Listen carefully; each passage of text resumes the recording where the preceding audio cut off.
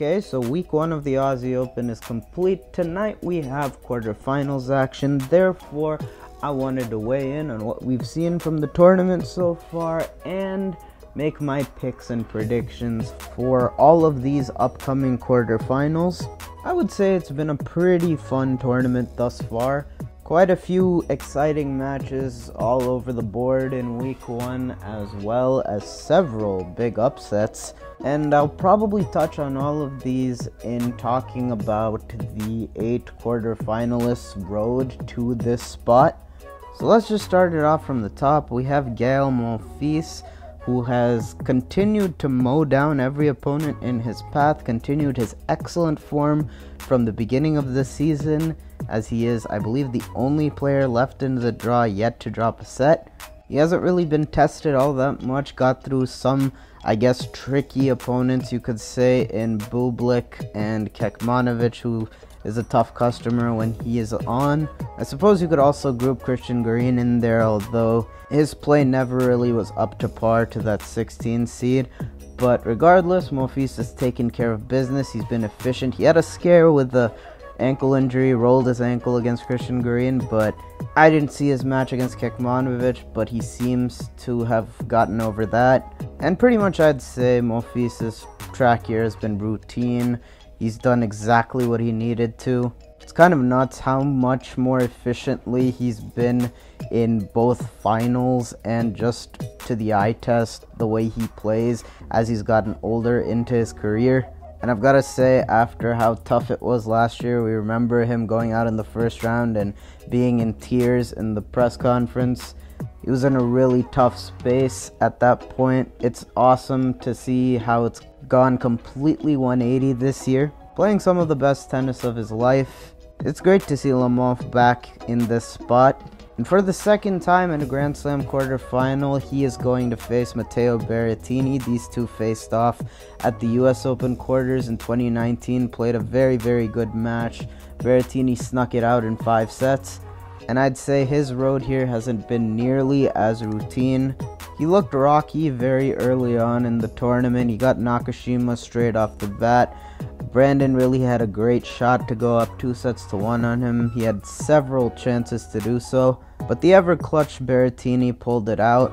And then I think a lot of people expected him to go out in the third round, myself included, when he faced off against Carlos Alcaraz. And I do want to talk about this match in particular. I wouldn't say it was particularly great quality, but it both encapsulated why everyone is so high on Carlos Alcaraz and why he's probably the best hope tennis has had for a teen champion since Rafa Nadal, I think. And then on the other hand, it showcased why Matteo Berrettini has become the big match player that he is.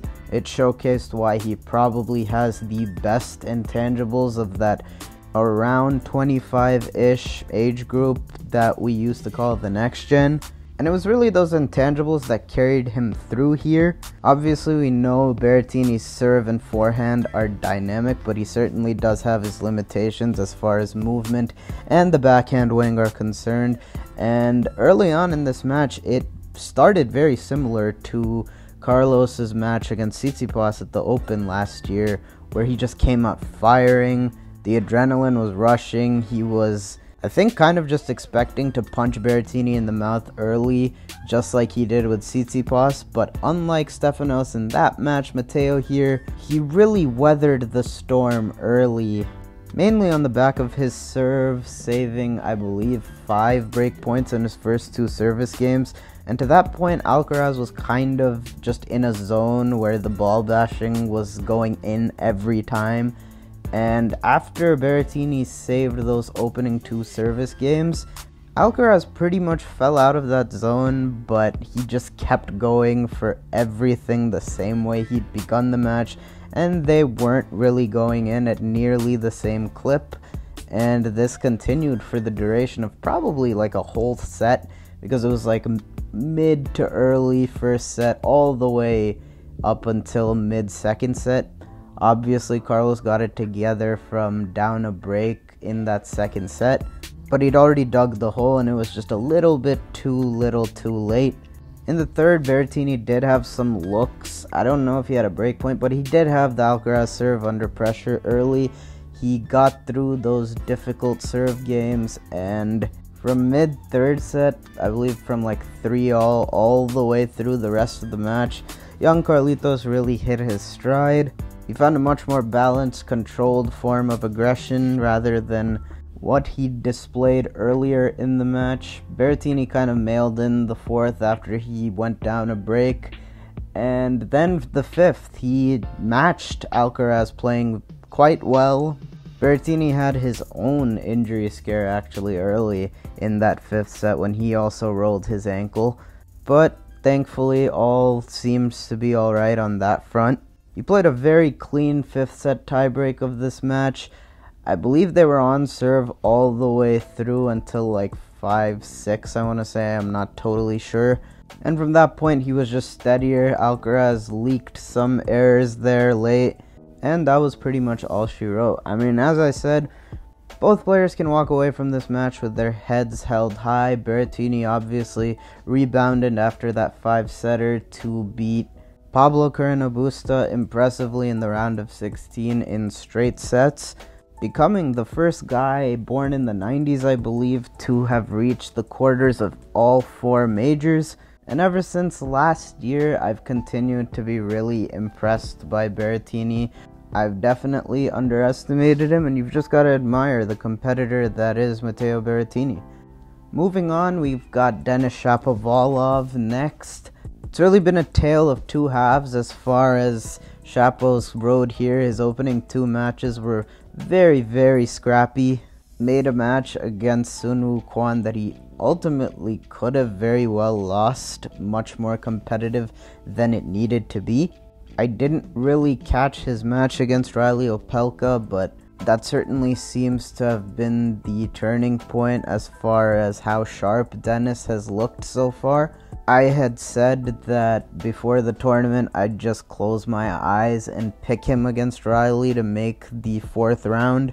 Historically, he hasn't fared great against big servers, and that's mainly similarly to Tsitsipas due to his inadequacies on return.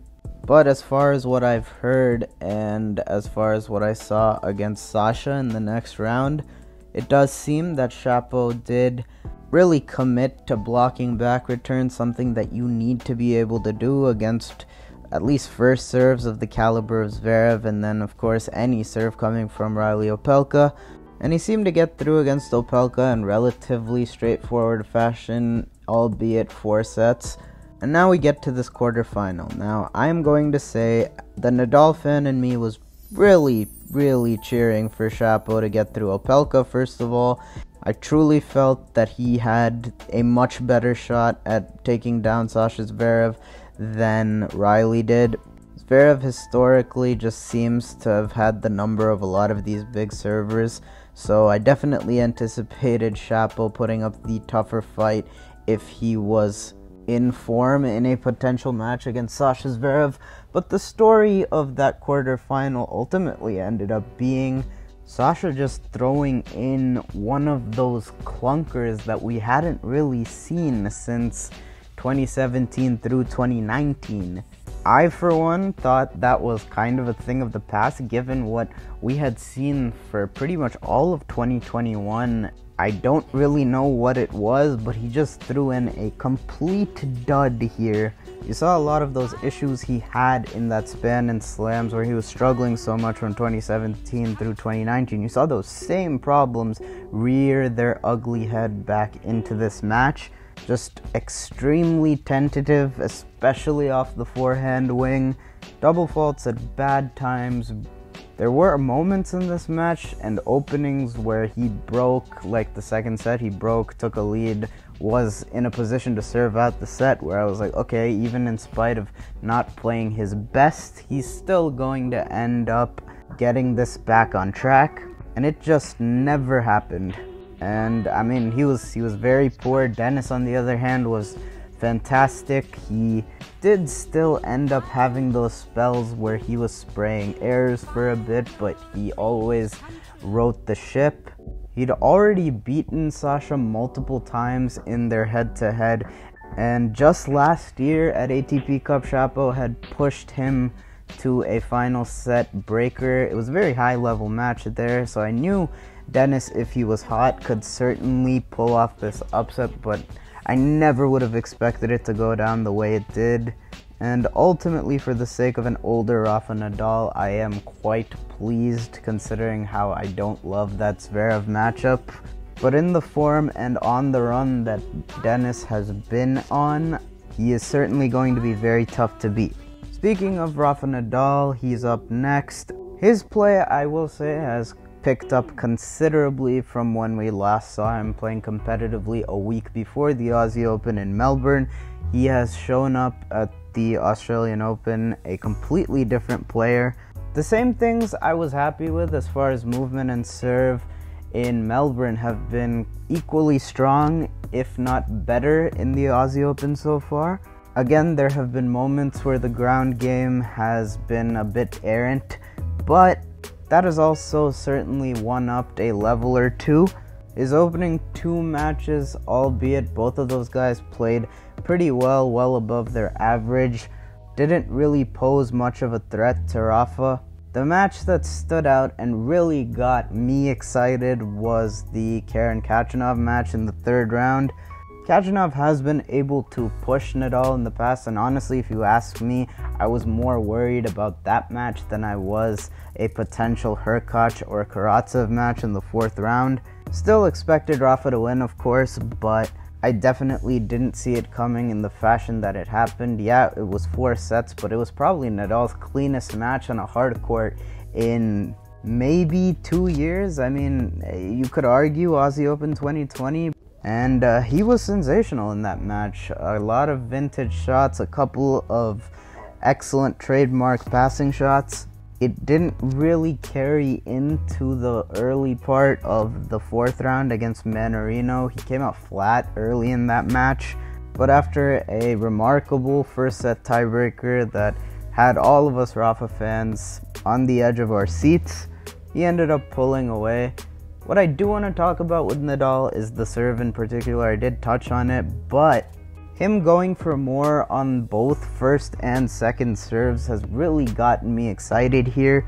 I'm happy that he seems to have acknowledged that last year was a down serving year and he needed that to pick up again this year, and so far it's been drastically better. Serve speeds are up across the board for him and that definitely bodes well as we head into the business end of the tournament. I'm not gonna sit here and act like these thoughts haven't crossed my mind with no Djokovic, especially now with Zverev having being knocked out in the fourth round. Definitely can't get too far ahead of myself, but fair or not, for a 35 year old who will turn 36 in January, coming off a six month break, this is probably Nadal's last great chance to capture that elusive and, in my opinion, long ago deserved second Australian Open. Of course, can't take anything for granted. It's been remarkable enough that he has come to the quarters, but he is playing well, and with how things have gone so far, I don't think anybody left in the draw is insurmountable for him. But I will get into more details on that when we get there, if we get there but we can definitively say it's already been a very successful Australian Open for Rafa Nadal. But on to the bottom half, Jannik Sinner. I had him going to the semis here. He's been very workmanlike through his opening four matches. He split sets with Taro Daniel, but other than that, he's never really been threatened so far. He has just handled business his most recent match on Rod Laver Arena against Alex de in the fourth round was probably the most impressive performance he's put in so far. Really just overwhelmed Demon from the back of the court. It's just been very impressive how Sinner has just cruised his way into this quarterfinal. I believe the second of his career now. And he's looking great heading into a quarterfinal date with Stefano Tsitsipas as far as Tsitsipas' road here is concerned, it has been much more scratchy. He's had to work much harder to get here. He dropped a set against Sebastian Baez as well as Benoit Paire, and then survived a five setter in which he had to come back two sets to one down against Taylor Fritz. Now, going into that match, I honestly thought Taylor was going to win. I had RBA actually beating Taylor Fritz, but whoever won that match, really, I was expecting to take down Tsitsipas. As always has been the case, Tsitsipas has fought tremendously to get here, obviously, even without his best stuff. There was some uncertainty with his health coming into this tournament. I believe now he as a product of his elbow injury, is now using different strings or a different stringing pattern. I'm not totally sure about the specifics on that, but it does seem that he's still kind of getting used to that.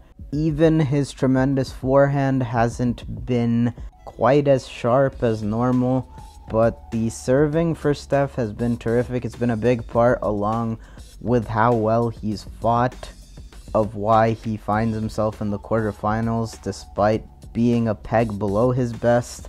The Tsitsipas serve has certainly gotten much better over the past year, and that's continued to be the case this year.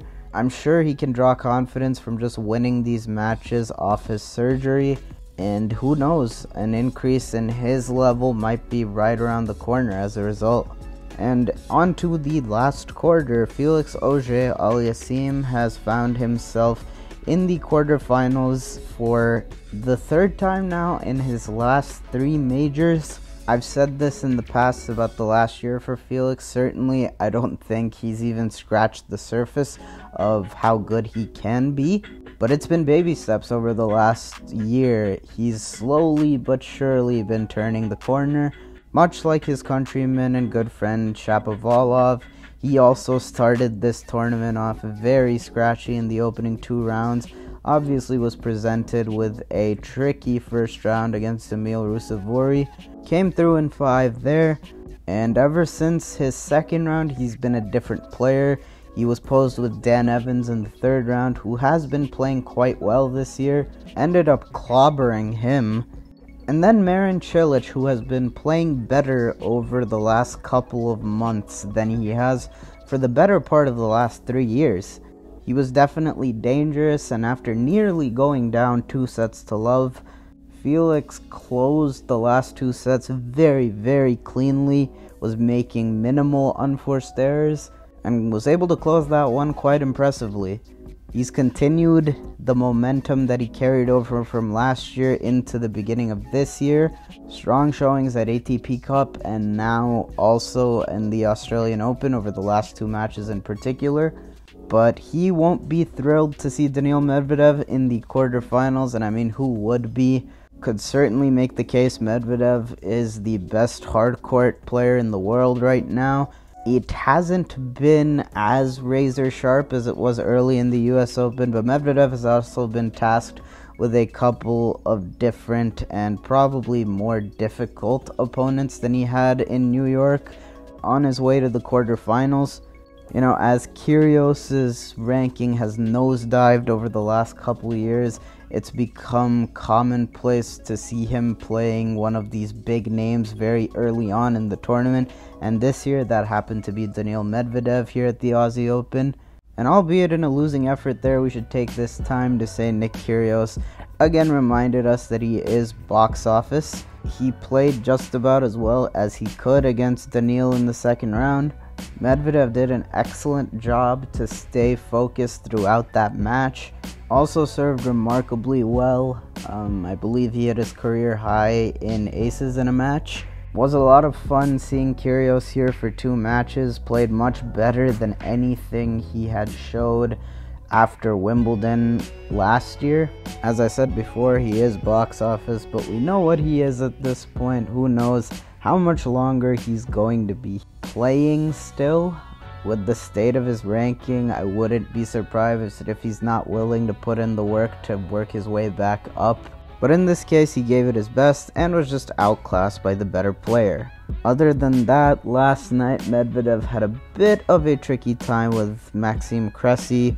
If you didn't watch Melbourne the week before or the US Open first round when he defeated Pablo Carreño Busta, Cressy has been a real throwback of a player bringing back the serve and volley, The guy does it pretty much every single point, and I was interested to see how he would fare against Medvedev because net rushing has been a relatively successful strategy against Daniil. Nadal has taken advantage of it. Djokovic, uh, as of last year, started to take advantage of it a lot more in two of their three meetings at least. Even saw someone like Pospisil do well with it, beat Medvedev in 2020, I believe. And yeah, for the most part, after the first set, Cressy played him really tight, got him a bit rattled even. Had a good opportunity to take the second set before Medvedev came up with a Houdini of a save down set. And after dropping the third, was able to keep his marbles together enough to get over the finish line. Of course, Daniil Medvedev is still the favorite to win this tournament, and he's got a pretty favorable draw as well. I'm sure we're going to see him here at the business end of the tournament, and there's not much else to be said there. So, on to my actual picks. With Monfils Berrettini, I got Berrettini in 5 along the lines of something like the US Open quarter in 2019. Really love how Monfils has been playing. I think he will give Berrettini a very tough fight and everything he can handle. I really do see this match as being able to go either way, but I'm just going to roll with Berrettini given he's the better big match player, and that's been established already. Nadal, Shapovalov, I'm going to go Rafa in a tight 4. Certainly, Denis is going to be very difficult to beat if he continues playing as he has the last couple matches. He could very well beat Nadal, he was a point away from doing it on clay in Rome last year. He doesn't match up against Rafa nearly as bad as most one-handers or lefties do. Expect a difficult match here, but I just think Rafa will be too steady. Even when he's playing really well, Denis is prone to at some point give some openings, and Zverev didn't take those. I think Rafa will. Nadal in four there. With Sinner and Tsitsipas, I had Jannik going to the semis before the tournament. My feelings on that haven't changed. Tsitsipas hasn't been the most convincing. Sinner, on the other end, has looked to be in great form. Still think Steph is a bit undercooked, and I think that's going to make all the difference. I say Sinner in four. And then lastly, Daniil Medvedev against Felix Auger-Aliassime. I'm glad of all my picks, I got this right at least. But I mean, we saw it as early as ATP Cup this year, as well as the semis of the US Open last year. I don't think Felix has really cracked anything as far as the challenge that Medvedev has posed to him. He's taken one set against him, but that was before Medvedev had even had his great summer of 2019.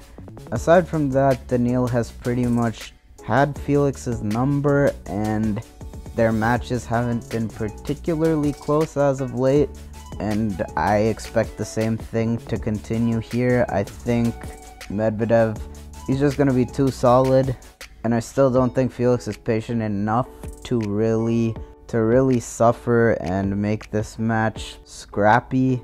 So I'm going to say Medvedev in straights here. And that'll do it for how I see these quarterfinal matchups shaping up. It's been a very eventful week of tennis at the Australian Open.